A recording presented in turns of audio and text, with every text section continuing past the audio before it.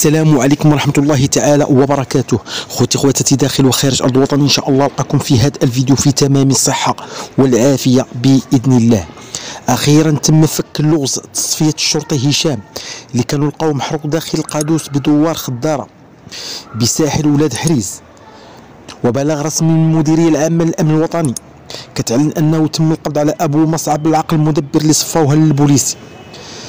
فبعد التحقيقات الماراثونية مع العشرات من مروجي المخدرات المشتبه بهم فآخر الأخبار والمستجدات إخواني أخواتي اللي كتأكد أن الأجهزة الأمنية تمكنات من فك هاد الطلاميس فقد تمكنت من التعرف على هوية الأشخاص اللي ارتكبوا هاد الجريمة شخصين كيسكنوا بالحي الحسني بمدينة الدار البيضاء أما الثاني فهو تم استقطابه من مدينة فاس.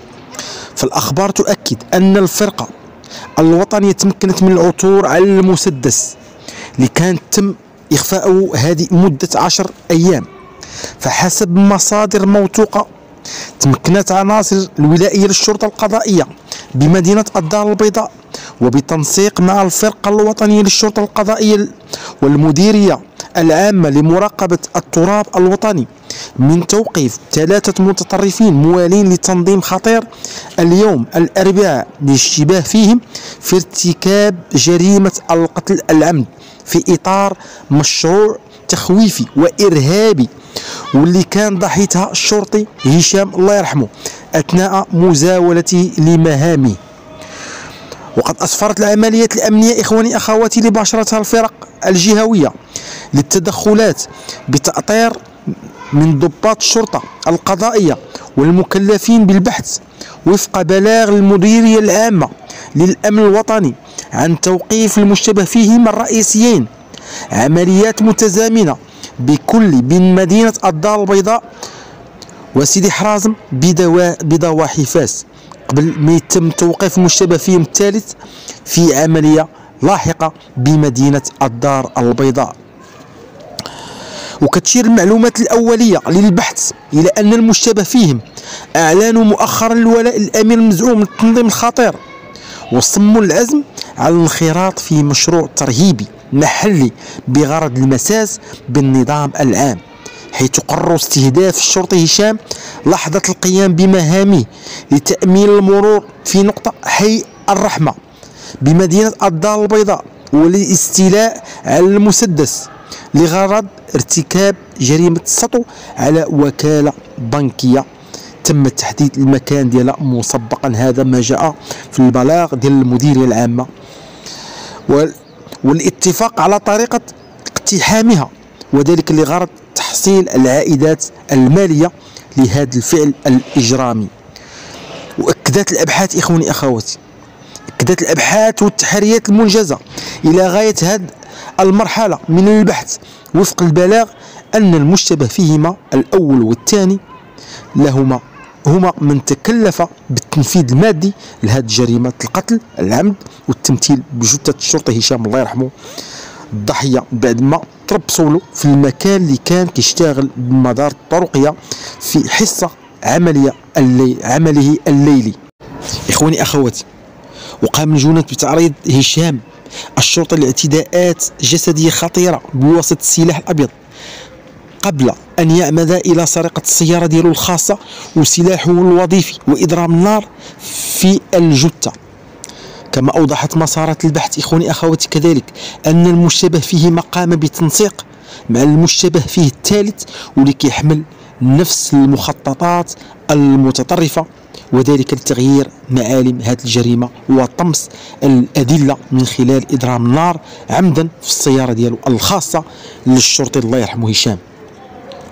وقد تم الاحتفاظ بالمشتبه فيهم تحت تدبير الحراسة النظرية على خلفية البحث القضائي الذي عهد عاهدت به النيابة العامة المشرفة على البحث إلى المكتب المركزي للأبحاث القضائية والتابع للمديرية العامة لمراقبة التراب الوطني من أجل الكشف عن كافة الخلفيات والملابسات المحيطة بهذه القضية لأودت بحياة الشرطي هشام الله يرحمه الضحية اللي مات شهيدا فصراحة إخواني أخواتي اليوم كنستخلص واحد الحاجة اللي هي مهمة واللي استنتجنا من هذه الجريمة البشعة أن السلاح الشرطي اللي كان هو الدافع إلى هذه الجريمة البشعة.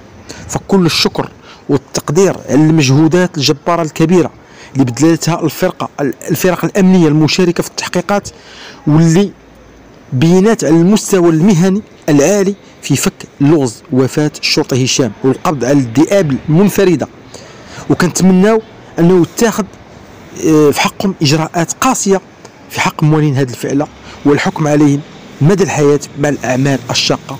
فالحقيقة إخواني أخواتي بقات فينا الأم ديالو وكذلك الزوجة اللي كتعيش حالة نفسية صعيبة جراء يعني فقدان يعني المعين الوحيد اللي هو الشرطي اللي كان ضحية الواجب الوطني.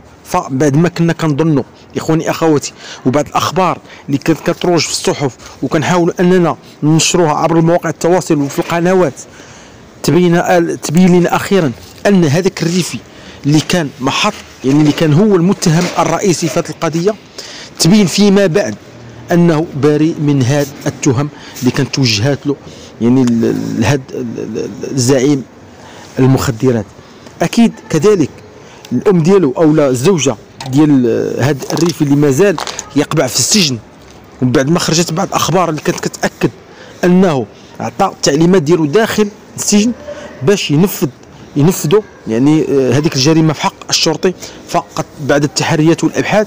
تبين كذلك أن هذا آه، الشيء كامل ما عنده حتى شي علاقة بتصفية هشام ولكن في الأخير كنتفاجئوا إخواني أخواتي بهذا البلاغ الرسمي ديال المديرية العامة للأمن الوطني واللي كتأكد أن القضية داخل فيها صراحة الإرهاب وهذا الشيء وهذا الشيء خطير وخطير للغاية خصوصا آه أننا آه أمام واحد القضية اللي خلقت ضجة كبيرة على الصعيد الوطني فهنا لازم من أجل تكون واحد اليقظة خصوصا وأن الطريقة بصفوها للشرطة هشام الله يرحمه فهي صراحة آه، طريقة مأساوية. والطريقة اللي كنشوفها غير في الأفلام واليوم كنشهدوها يعني في مواقع التواصل وفي بلادنا أكيد هادشي خطير وخطير للغاية. فهنا لازم الانتباه يعني واليقظة يعني وحتى الأمن الوطني حتى هما يعني يردوا البال بخصوص هاد العناصر اللي هما نفذوا هذه الطريقة بطريقة ذكية وحاولوا أنهم يلفقوها للبارونات المخدرات. على أي فتحريات مازال والتحقيقات مازال في سيريا تامة ولكن اللي غنحاول أن نستنتج واللي لاحظت هو أنه هاد الناس اللي تم القبض عليهم ثلاثة يعني اللي حرقوا السيارة على حسب البلاغ.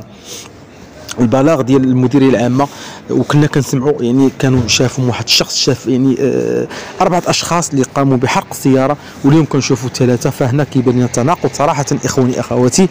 فلا آه، يعلم الغيب إلا الله سبحانه وتعالى فكنتمنوا أن هذا البلاغ يكون يعني حقيقي وما يكون يعني آه، لأننا كنشوفوا تناقض في الأخبار صراحة. ف باش دوز عشرة أيام عاد نشوفوا هذه الحقيقة فهنا شي حاجة ماشي هذيك ربما مسؤولين كبار يعني دركيين رجال الأمن يعني متورطين في هذه القضية ديال ديال المخدرات. هنا فين تم يعني طمس هذه القضية وحاولوا أنهم يعني يوجهوا اتهام لهذه العصابة أو لهذ المتطرفين. اللي هما بالاسماء أبو مصعب وأبو قعقاع على على ما جاء اللسان ديال المديرية. إخواني أخواتي آه، حتى لا أطيل عليكم نكتفي بهذا القدر في انتظار ما هو جديد. دمتم في رعاية الله والسلام عليكم ورحمة الله تعالى وبركاته.